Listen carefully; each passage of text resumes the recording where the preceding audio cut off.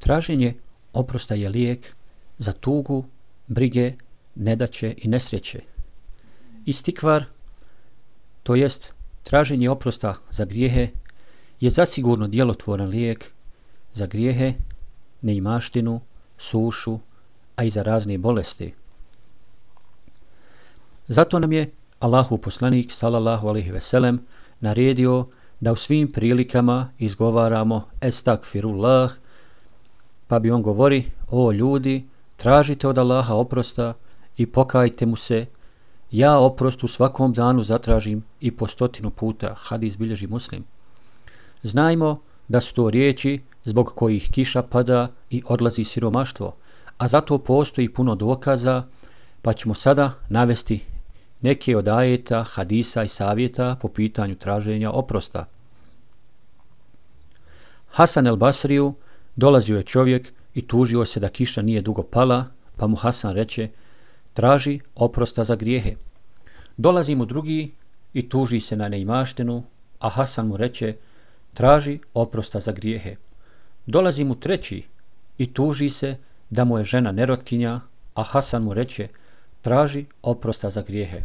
Dolazi mu četvrti i tuži se da mu zemlja ništa ne rađa, a Hasan mu reče, traži oprosta za grijehe.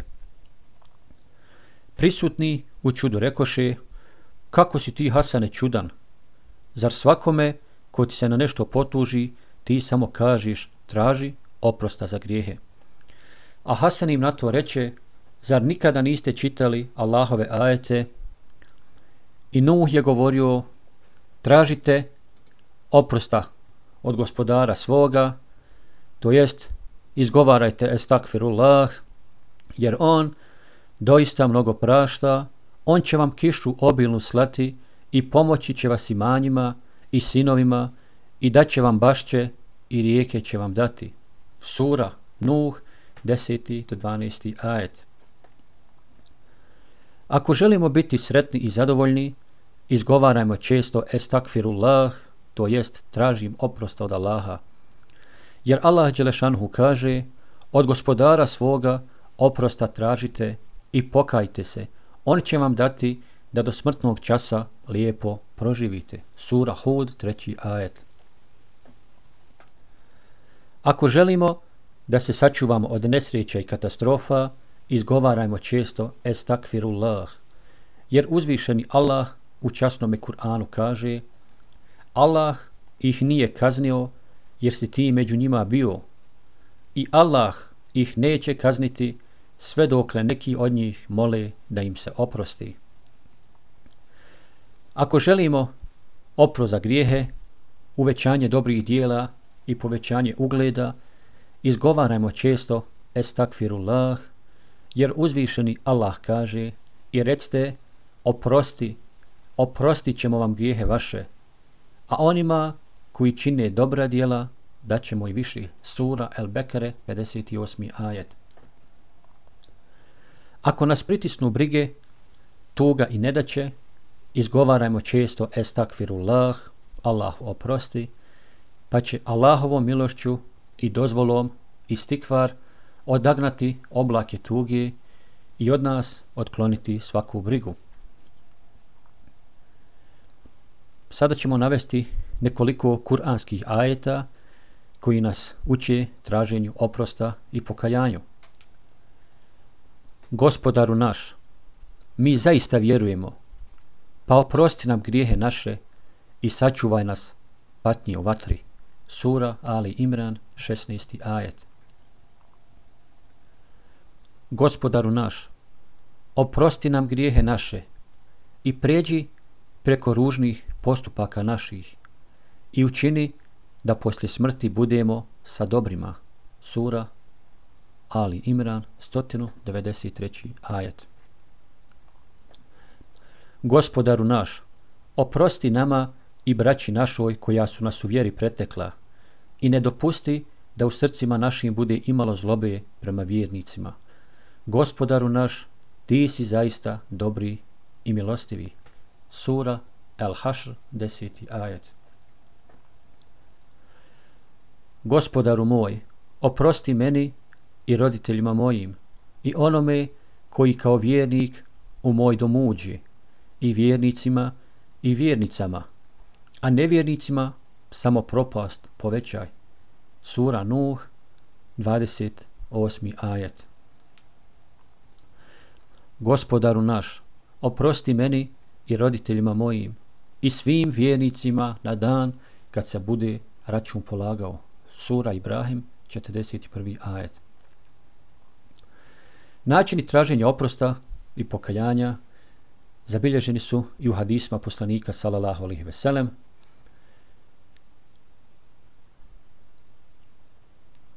Pa ćemo ovdje navesti neki od hadisa.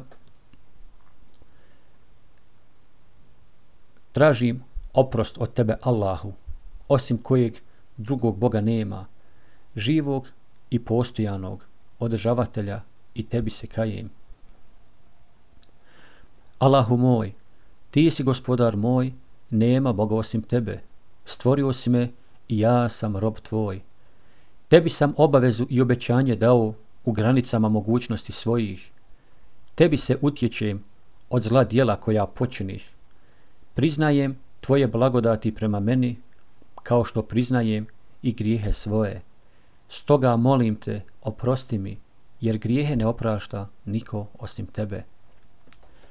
Allahu moj, ti si moj gospodar i ja sam rob tvoj. Prema, sam, prema sebi sam nepravdu učinio i priznajem grijeh svoj. Samo ti možeš grijehe oprostiti, zato mi molim te, gospodaru, oprosti. Allahu moj, u istinu sam se mnogo ogriješio prema sebi, a grijehe ne oprašta niko osim tebe, pa te molim, oprosti mi svojim oprostom i smiluj mi se. Ti si oprostitelj samilosni. Allahu moj, molim te, oprosti mi, smiluj, mu, smiluj mi se, zaštiti me i obskrbi me. Allahu moj, molim te, oprosti mi, smiluj mi se, uputi me, zaštiti me i obskrbi me. Allahu moj, molim te, oprosti mi, smiluj mi se, uputi me i učini neovisnim, zaštiti me, obskrbi me i uzdigni me.